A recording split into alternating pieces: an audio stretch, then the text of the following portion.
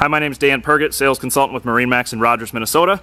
Today we're looking at the new 2019 Nautique G23.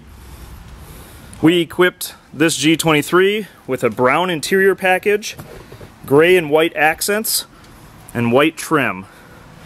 As you can see, there's a wraparound seat bench that wraps around the entire back of the boat here. We have JL audio speakers, like normal for Nautique. There's cup holders that have ring around lights on them. There's charging ports, so you can spend the whole day out on the water. The flooring is SeaDek flooring, which is nice on the, nice on the feet, and it also dries quickly.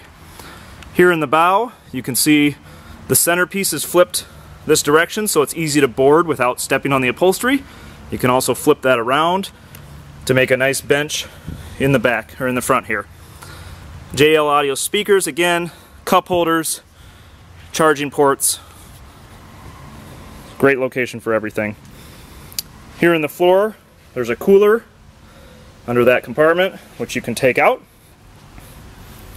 At the helm, Nautique's signature 12.4 LINC Panoray system. It's all Bluetooth, it's all touchscreen. It's very nice, easy to use. Down here at the bottom you can see a pull-out vent on those nice chilly days.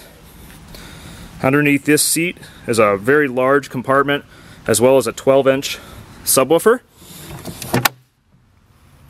And this area has nice JL head unit, charging ports, very big storage area for keys, wallets, money, and you can see the button for the heated seat for the passenger.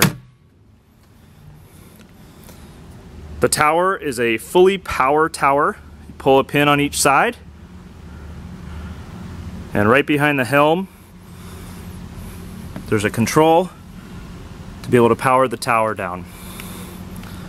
This one comes with two 8.8 JL speakers up top with lights underneath that shine down into the cockpit area.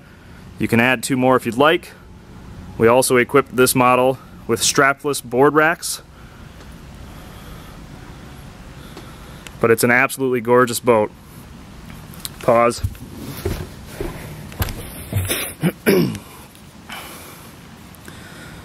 Again, my name is Dan Pergett, sales consultant with MarineMax in Rogers, Minnesota.